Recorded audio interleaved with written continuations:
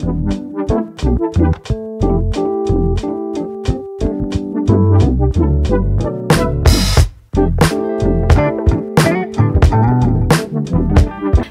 xin chào tất cả mọi người, chào mừng mọi người đã quay trở lại với cả kênh youtube của gia đình Cam Cam. Và trong vlog ngày hôm nay thì mình sẽ chia sẻ cho mọi người những cái outfit mà mình hay mặc hàng ngày. Và sẽ là nguyên một tuần mình mặc gì thì mình sẽ quay lại cho mọi người. Và bây giờ thì chúng mình sẽ bắt đầu nhá. Outfit mà ngày hôm nay mình mặc ấy thì là mình sẽ mặc một chiếc áo hai dây mặc ở bên ngoài một chiếc áo phông. Thế nhưng mà để cho cái bộ đồ này nó thêm kiểu thú vị hơn ấy thì mình đã mặc cùng với cả một chiếc quần jean. Chiếc quần jean này thì là một chiếc quần jean ống suông. Và khi mà mình mặc lên như thế này thì trông nó khá là hàn sẻng ấy nên là mình rất là thích cái kiểu mix đồ outfit như thế này. Thêm đẹp hơn thì mình sẽ lựa chọn một cái chiếc mũ. Đây là một cái chiếc mũ mà mình có cả màu đen lẫn màu trắng. Và để cho bộ outfit này có một điểm nhấn hơn nữa thì mình sẽ lựa chọn một cái túi có màu xanh. Thì đây là một cái màu xanh mà năm nay các bạn ấy rất là hot. Bình thường ấy khi mà mình muốn sử dụng những cái tông màu mà nó đang hot trong năm nay ấy, thì mình sẽ nhấn vào phụ kiện hoặc là mũ hay là vào những cái ờ, phụ kiện nhỏ thôi để cho cả cái bộ outfit của mình nó không bị loẹt loẹt quá.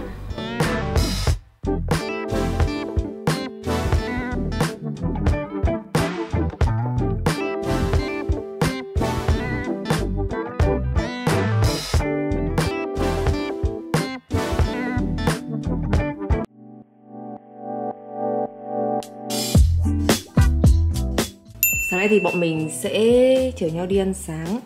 Và mình sẽ mặc luôn cái outfit mà mình đang mặc ở nhà, mình đang uh, tập ở nhà. Áo này thì là mình mua của HM và cái áo này thì mình thấy mặc rất là thích kiểu như là nó thấm hút mồ hôi và nó mặc nó rất là nhẹ. Để cho nó lịch sự hơn một chút xíu thì mình sẽ mặc thêm một cái denim bò ở đây. Cái denim bò này thì nó cũng không quá là dày. Mình có thể mặc kiểu tại vì hôm nay thì thời tiết ở bên ngoài cũng mát mẻ, chỉ có tầm 24 độ C thôi, với cả là mình đi xe máy thì mình có thể mặc cái này để nhỡ, ví dụ như còn nắng lên thì mình cũng sẽ có cái áo để che nắng luôn. Đây này thì mình đang dùng cái khẩu trang vải này để cho nó đỡ đỡ đỡ đỡ đỡ khó chịu mặt.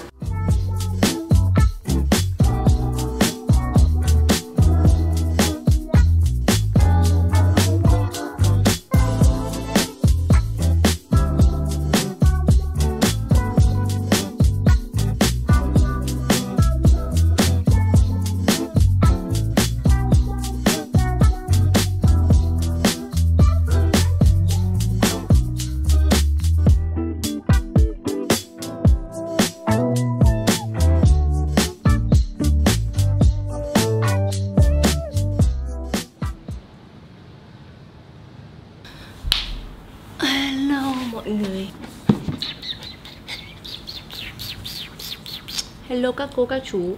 Hôm qua thì mình vừa mới nhận được một cái hộp quà rất là xinh từ The Memoria. Nếu như mọi người mà có theo dõi mình ở trong những cái vlog ngày trước ý, thì mình đã từng một lần review cái bộ sưu tập nước hoa The Memoria rồi. Và lần này thì The Memoria họ lại tiếp tục ra cái bộ sưu tập lần thứ hai mang tên là Ký ức bất tận. Cái bộ sưu tập lần thứ hai này ý, thì sẽ có cái cảm hứng từ những cái đất nước phương Đông, những cái đất nước Á Châu. Ví dụ như là có Myanmar này, có Đài Loan này, có Thái Lan này và có cả Việt Nam nữa. À, Cho nên là hôm nay thì mình muốn là sẽ cùng mọi người mở cái bộ sưu tập này ra để khám phá những cái mùi hương ở trong này. 哎。Đây, ở trong này thì nó sẽ như thế này Có 6 chai nước hoa ở trong này. Và 6 cái mùi này thì sẽ tương ứng với cả 6 thành phố. Và mỗi một thành phố thì sẽ mang một cái nét đặc trưng Cũng như là tương ứng với cả một cái mùi nước hoa riêng ở trong đấy. Thì đây là cái hộp của nó sẽ như thế này Rất là xinh. Của siêu tập lần này thì sẽ là những cái mùi hương mang hơi hướng kiểu unisex một tí Tức là sẽ dùng cho được cả nam và nữ. Lần này thì sẽ là 6 chai có 6 tên khác nhau. Và lần này thì họ sẽ đặt tên theo những cái thành phố ở những cái đất nước này. Thì ở đây mình thấy có Hội An. Hội An là ở Việt Nam. Đây mình vừa mới mở cả 6 chai ra cho mọi người xem được cái uh, vẻ bề ngoài của cái bộ sưu tập lần này. Thấy là cái tông màu bên ngoài của những cái chai nước hoa này thì có cái màu nó khá là trầm nhưng mà hầu như ở trong những cái mùi này thì mình thấy là nó đều rất là đặc biệt. Mỗi một cái mùi hương thì nó đều mang một cái uh, một một một cái tông mùi rất là riêng. Thì từ nãy đến giờ thì mình rất là thích cái mùi của Lampang này cho nên là hôm nay thì mình sẽ tính là mình sẽ sử dụng cái mùi lampang này và mình sẽ review cho mọi người luôn. Thì cái chai này nó có màu tím như thế này và ở trên này thì mọi người nhìn thấy là người ta có in tên của cái thành phố lampang. Cái mùi này thì được lấy cảm hứng từ đất nước thái lan. Ở trên bao bì thì người ta có ghi rằng đây là một mùi hương thú vị. Và khi mà mình xịt cái mùi này lên ý, thì nó sẽ cho mình một cái cảm giác như là mình đang hít một cái làn khói rất là kiểu thú vị được thổi trong một cái tiết trời trong lành. Và kiểu nghe thế thế thôi thì mình đã thấy rằng nó quá hợp với cả cái thời tiết ngày hôm nay. Hôm nay thì trời Sài Gòn kiểu âm u âm u xong rồi gió mát mát xe xe nữa. À, nếu như bạn trai nào mà mọi người đang muốn tìm một cái mùi hương trong bộ sưu tập lần này thì mọi người có thể thử tham khảo cái mùi Pagan này. Mình thấy rằng cái mùi này ở trên mô tả ở đây thì nó có ghi là uh, mùi hương đầu thì sẽ là quả mâm xôi này rồi có một cái loại mùi hương là nhựa Ganpanum gì đó, mình đọc không biết là có chính xác không. Và cái tầng giữa của nó thì sẽ là có da thuộc này, có cỏ dạ hương này, rồi là có hoa nghệ tây. Và hương cuối thì sẽ là hoa hồng đá. Những bạn nam nào mà dùng mùi này thì sẽ khiến cho các bạn nữ đi cùng, sẽ chỉ muốn, kiểu, ôm ấp hít hà cả ngày thôi. Không biết là với mọi người thì như thế nào, chứ với mình thì khi mà mình đi ra ngoài đường ấy thì mình rất là thích xịt nước hoa. Tại vì với mình thì nước hoa nó như là một cái dạng phụ kiện ấy.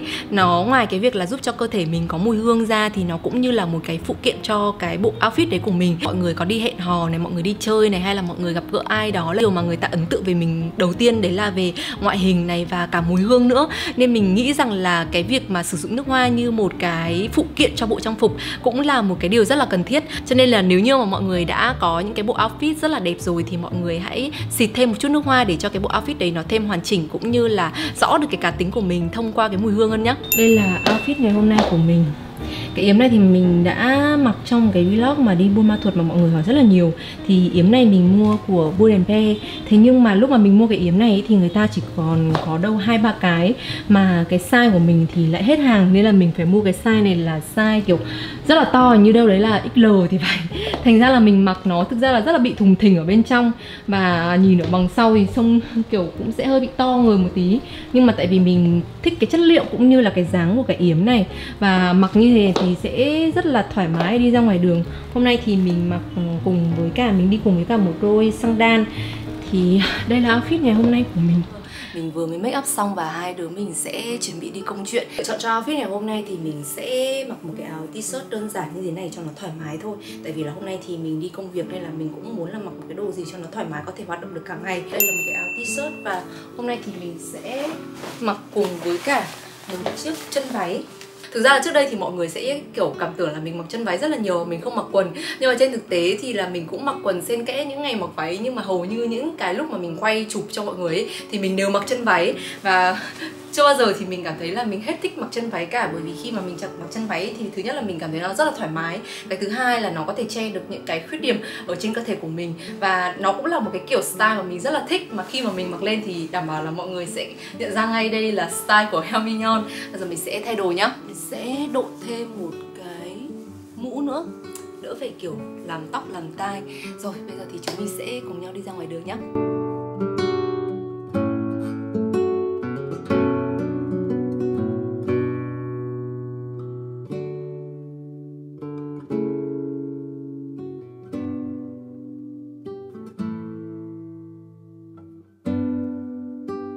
thì có rất là nhiều những cái chân váy như này. Và nếu như mọi người mà bình thường mọi người ờ, hay lười mix đồ để đi ra ngoài đường ấy thì đây là cái outfit mà mình cái công thức mà mình hay mix nhất. Đấy là mũ xong rồi một chiếc áo uh, phông đơn giản với cả một chiếc chân váy. Mấy con tự nhiên trong cái ô ở trong cái cốp xe nhà mình có cái ô liệu ra Bây giờ thì bọn mình đang chuẩn bị đi đón Cam đi học về. Thì đây là outfit ngày hôm nay của mình. À, Ở bên trong mình mặc một cái t-shirt màu trắng Ở ngoài thì khoác một cái cardigan đen mỏng thôi. Cái cardigan này rất là mỏng cho nên là mình có thể mặc ở thời tiết Sài Gòn được. Và là một cái quần short màu hồng. Kia là con trang và một đôi giày. Mình rất là thích đi những cái kiểu giày lười như thế này tại vì là mình không phải mất công mình kiểu tháo dây giày bỏ dây giày rồi là sò xiếc các kiểu mất thời gian ấy. Mình lại tiếp tục đội mũ. À, thường những cái ngày bình thường ấy thì mình rất là hay đội mũ tại vì khi mà mình đội mũ ấy, thì mình không kiểu phải để ý tóc tai làm tóc làm tiếc gì cả mà kiểu có đều bết nên là mình chỉ đội mũ lên một cái thôi là xong. Hơn nữa là mình cũng rất là thích đội mũ tại vì đội mũ nó như là kiểu một cái món phụ kiện ấy. Mình chỉ cần thay cái dáng mũ thôi là cái outfit của mình trông nó khác. Và cái việc là mình đội mũ lên thì trông cái outfit của mình trông nó cũng sẽ rất là đặc biệt hơn. Đấy là câu trả lời cho những bạn nào mà mọi người rất hay thắc mắc là chỉ thấy mình đội mũ thôi.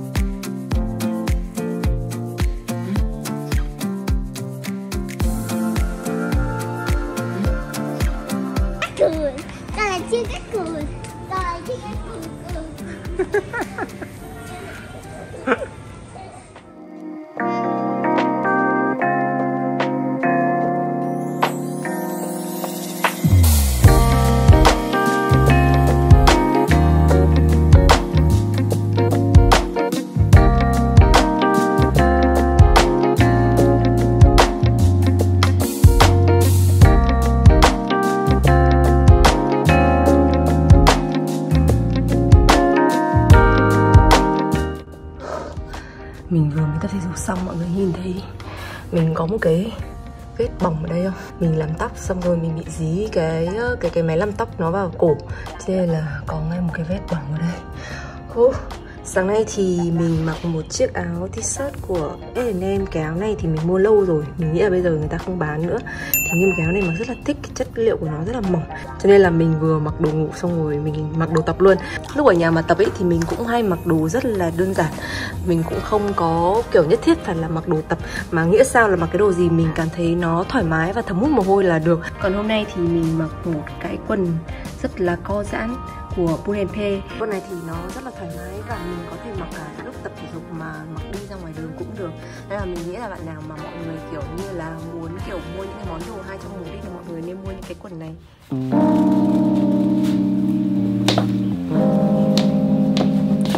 Hello mọi người.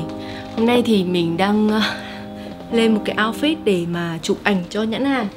Hôm nay mình sẽ chụp với cái túi này của Quast thì đây là một cái túi mà mình vừa mới được nhãn gửi tặng. À, cái túi này rất là xinh. Cái túi này nó có đến tận ba cái quai cho mình có thể lựa chọn được. Thì uh, có một cái quai này để cho mình có thể xách như thế này và có một cái quai như thế này để cho mình có thể đeo ở trên vai rất là xinh. Nên là hôm nay thì mình sẽ chụp với cả một bộ outfit có tông màu nâu đen để cho nó hợp với cả cái túi này. Ở đây mình chọn một cái uh, kiểu cardigan dáng ngắn và nó có cái khuy cài ở đây. Thì cái này mình có thể cài cũng được mình mình bỏ ra cũng được. Và bên trong thì mình mặc một cái áo ờ, quây màu da. Mình lựa chọn một cái chân váy zip lửng màu đen chất liệu là denim muốn là mình sẽ mặc đồ đẹp xong rồi đưa mọi người đi cà phê đi đây đi đó. Thế nhưng mà cả cái tuần này thì trời nó mưa xong rồi nó âm u cả tuần luôn. À, mình chụp đồ cho hãng mình vẫn phải chụp đồ ở trong nhà chứ mình không có ra ngoài trời được. À, mọi người hãy thông cảm cho mình nhá. Bây giờ thì mình sẽ chụp đồ nhanh xong đấy thì à, tí nữa thì đợi bố kiên về thì hai vợ chồng mình sẽ đi ra ngoài đi ăn tối. À, mình sẽ đưa mọi người đi cùng với cả vợ chồng mình nhá.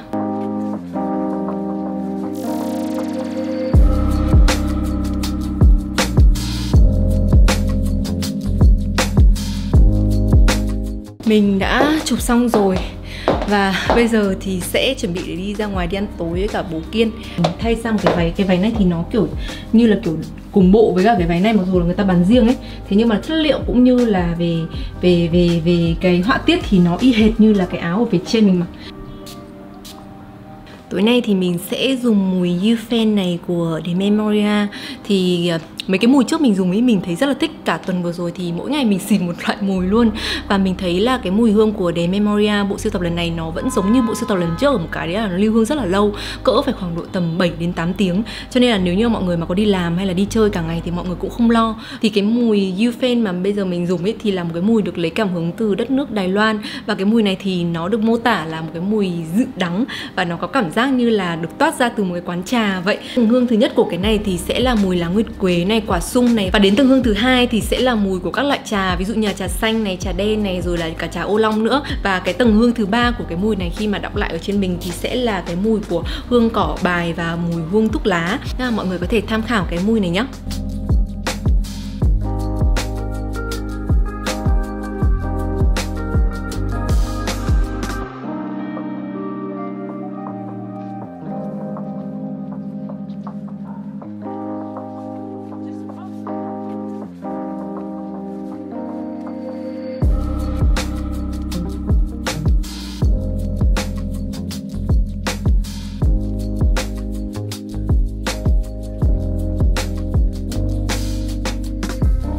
mình đã đi chơi về rồi. Bây giờ cũng khá là muộn rồi thế nhưng mà mình quên mất là mình chưa có chào kết mọi người.